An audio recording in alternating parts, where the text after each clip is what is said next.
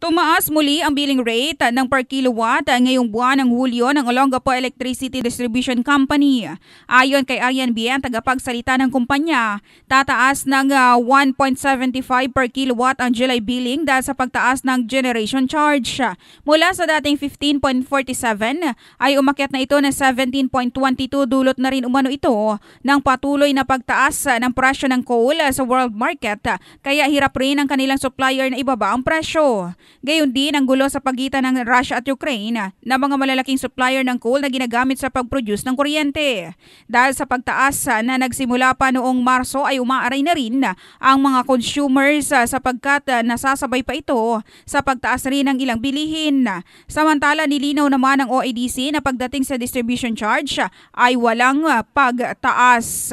Ito si Kabrigada John Bayot, ang Brigada News from Philippines, the Music and News Authority.